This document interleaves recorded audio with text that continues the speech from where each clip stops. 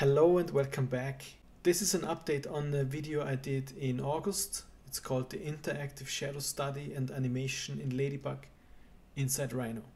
For this tutorial I used uh, Rhino 5 together with the Rhino Sunlight and Sunlight system, which has an option to add skylight. I want to do this update because now in Rhino 7 uh, things have changed a bit and I got a got a question asking me if Rhino 7 doesn't have the Rhino Sun anymore and how to achieve the same output in Rhino 7. So I will not go through uh, how to set up the script in Grasshopper. For that we already have this video. But what I want to show is how to actually handle the render viewport and to achieve the same um, kind of rendered effect. So as you can see here, um, you you although this is just a rendered viewport, you actually get something like a global illumination. So you still have some skylight on the areas where there where you have shadow, and it also adds the effect that the the color of the sunlight changes uh, in the evenings. So that's what we try to achieve in Rhino 7. Yeah, for this I'm uh, gonna reuse the, the model I used for another video. It's a model of Manhattan and it's you can download it for free and I, I will have the link in the notes. Yeah, so when you open Rhino 7 uh, the first time, you might land on the shaded viewport, the shaded display mode, which then yeah looks like this. And wireframe looks like this and rendered view so I used for the for the video I just showed you, I used the rendered view to create this animation. Now you see, of course, this kind of uh, global illumination effect is actually not doesn't exist here. The shadows of the buildings are actually completely black. So um, the developer of Rhino 7, they did a really good job to hide some of the, the settings but so what, first thing you need to understand is where is this where you can actually turn on the sunlight and or the sunlight system as we had it in uh, Rhino 5. So there are two locations where you can find it. One is here in render tools. It's the toggle sun panel or what I do actually here, I, go here, I just right click on this uh, right panel here and then go to sun that gives me that panel as well. At the moment you can see it's off. And so the rendered viewport is using like a default lighting set setting. So you can turn it off, uh, on, and you, you already see that it completely changed the look of your image. And then here you can then change the date or time. So for example, I can set my time here or, or you, you just control it manually and just rotate your sun position on the, in the sky. So that's also possible. So you could go here on manual, then you only have these to work with. I keep it with the time because it automatically moves both of these uh, controllers. But you still you can see that you actually have this like black shadow still there's another panel where, where we can actually control a bit more about the looks of uh, the display mode, which is display here. That's the display. Here you can actually also change the mode. So this is the same as if I go here and change the mode. I can actually also change it here, but here I have additional settings I can change.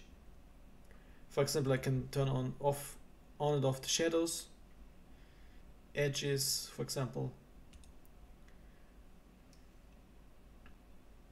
and many more things. You can turn on uh, grids, you can turn on or off any curves. For example, if I don't want to see that curve here, I can turn it off. Now it's still on. I don't. No, it's actually off. This is the edge of the surface. Um, and it's red because it's on a different layer with which is red.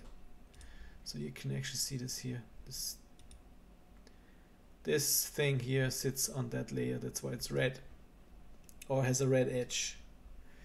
So first what we should try to do is to actually change the the shadows. The shadows look a bit, they're very blurry and they look a bit um, detached from the buildings. So we go into into here and actually there's a button below here. You can actually even control more aspects of uh, of your render of your settings of your view, viewport settings and we click here and that brings us into the Rhino options and into the display mode settings. So in here we have more even more control about how how the things look like. So when we go in here into under rendered, you have this you can change certain settings. So you can change the background, some ground plane settings. You can change also things we could have changed here, like for example, the curves on and off or edges uh, for surfaces and so on. Important is this one here, the lighting scheme.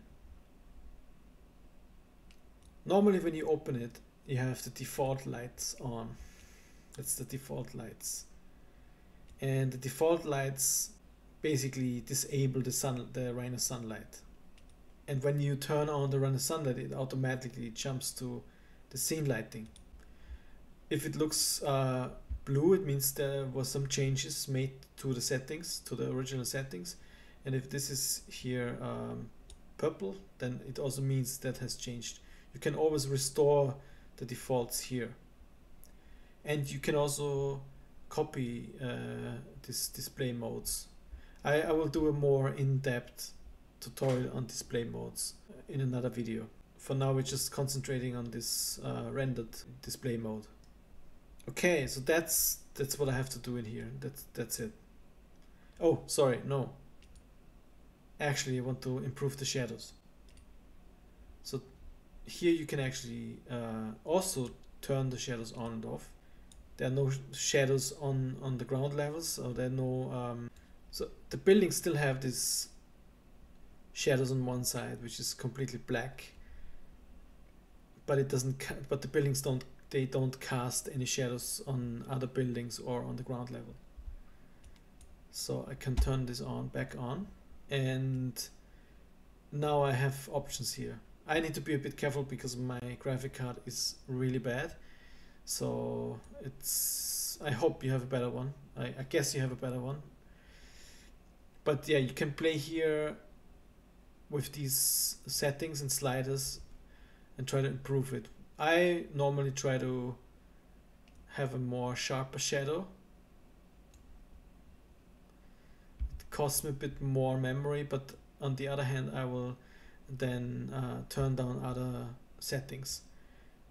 For for example, the sky the skylight shadow quality, I might not turn down. Well, let's let's let's keep it. Let's keep it for a while. I don't need soft shadows so I can actually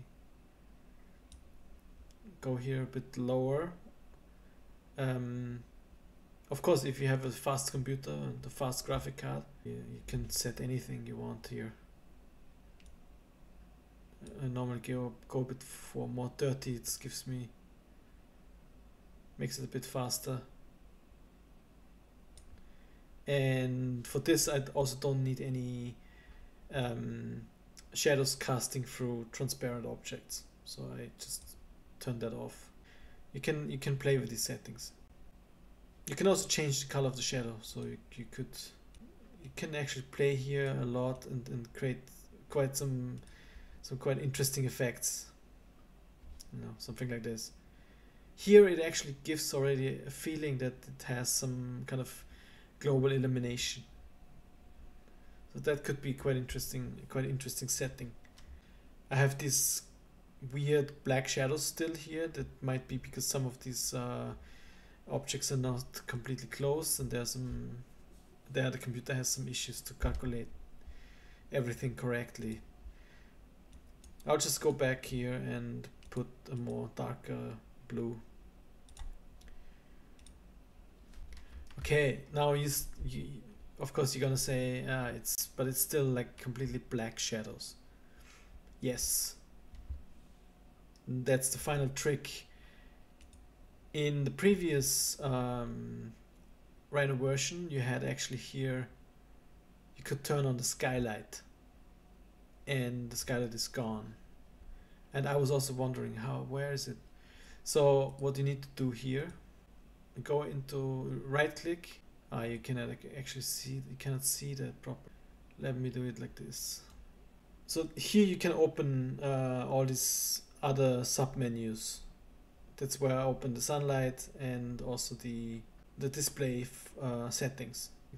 And there's another one which is important. It's called environments. And this is also you can also find that here in here under render tools environments. And at the moment it's only a very basic environment. It says here basic environment.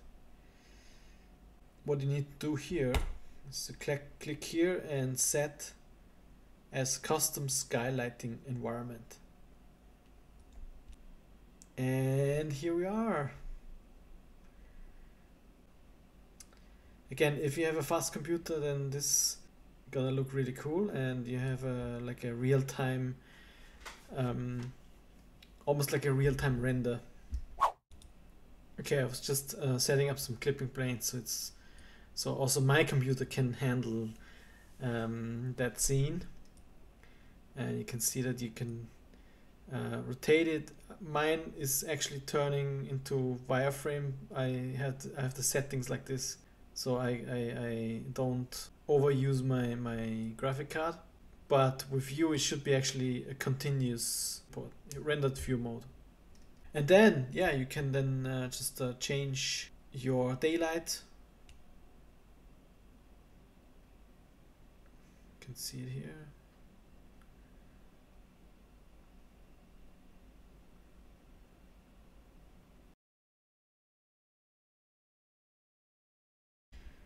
Yeah then uh, if uh, I guess you can then um, if your if your graphic card allows it then you can also try to improve your shadows. Um, maybe go a bit lower here.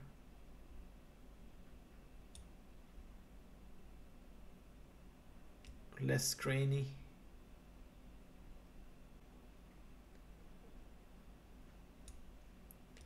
Edge blurring maybe that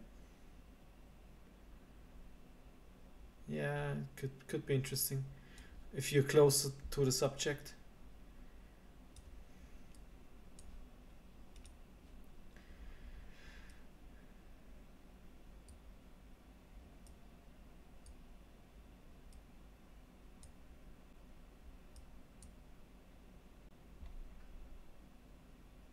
But yeah, I think it's uh, really nice. I think it looks pretty good actually. So nothing lost. It's still everything here like in Rhino 5, just in a different area and renamed slightly. Okay, I hope that helps um, for everybody who had the same problem. See you next time.